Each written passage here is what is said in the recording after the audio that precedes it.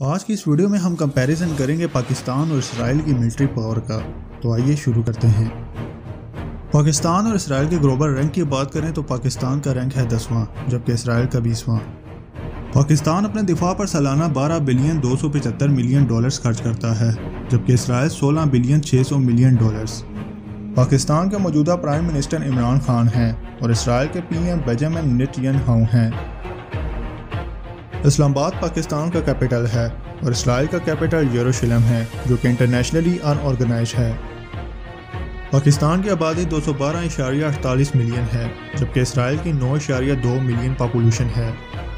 पाकिस्तान की military active persons की तादाद छः लाख चौवन हज़ार है, जबकि इसराइल के एक्टिव मिलिट्री पर्सनस की तादाद एक लाख सत्तर हज़ार है।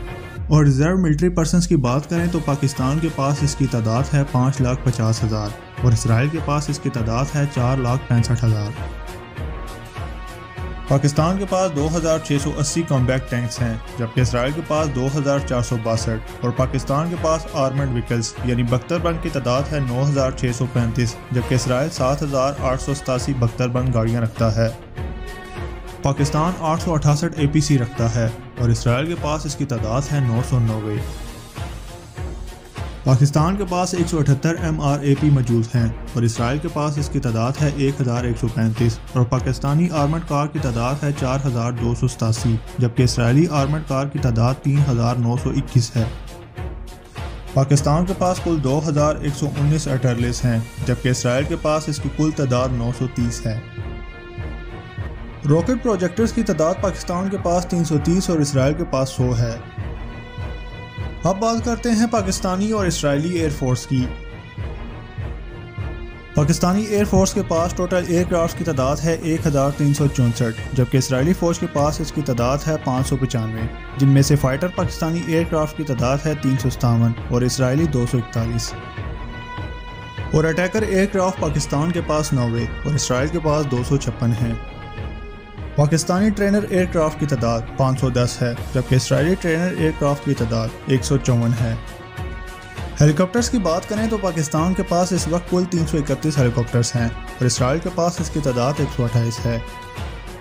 जिनमें पाकिस्तान के पास अटैक करने वाले हेलीकॉप्टर्स तिरपन, और इसराइल के पास इनकी तादाद अड़तालीस है। A W A C S aircraft Pakistan के पास 11 और इसराइल के पास तीन हैं, जबकि रिकोनेंस एयरक्राफ्ट पाकिस्तान के पास दो और इसराइल के पास नौ हैं। पाकिस्तान एयरफोर्स के पास 48 ट्रांसपोर्ट एयरक्राफ्ट हैं और इसराइल के पास इसकी तादाद 15 है। और आखिर में बात करते हैं पाकिस्तानी और इसराइली नेवी की। पाकिस्तान नेवल के पास कुल 100 नेवल असिस्ट हैं और इसराइल नेवल असिस्ट की तादाद पैंसठ है। एयरक्राफ्ट कैरियर की तादाद पाकिस्तान और इसराइल में कॉमन है और वो है सिफर। इसी तरह पाकिस्तान और इसराइल दोनों के पास डिस्ट्रॉयर की तादाद सिफर है। पाकिस्तान के पास आठ फ्रिगेट्स हैं और इसराइल के पास सिफर, जबकि पाकिस्तानी कवर्स दो हैं और इसराइली कवर्स की तादाद चार है।